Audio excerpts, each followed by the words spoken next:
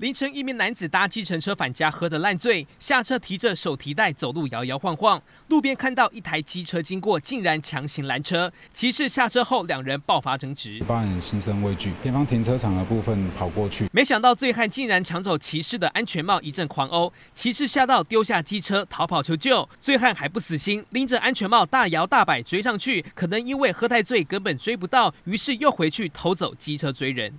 停车场的时候，他怕那个嫌疑人持续的对他追逐啊，所以就现场在停车场的时候有打一一零，请求警方到场协助。骑士吓到打电话报警，警方在小巷弄发现机车，循线找到住附近的醉汉。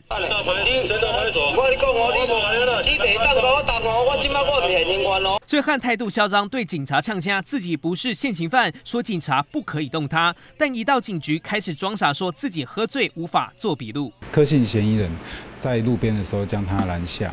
并且是向他声声称说他有撞到他的情形。醉汉辩称因为被机车撞到才会拦车理论，但其实说根本没碰到。初步调查，醉汉有多项窃盗前科，喝得烂醉竟然骚扰路过民众。侦讯后就把他依照强制和毁损罪函送法办。记者王家庆高雄报道。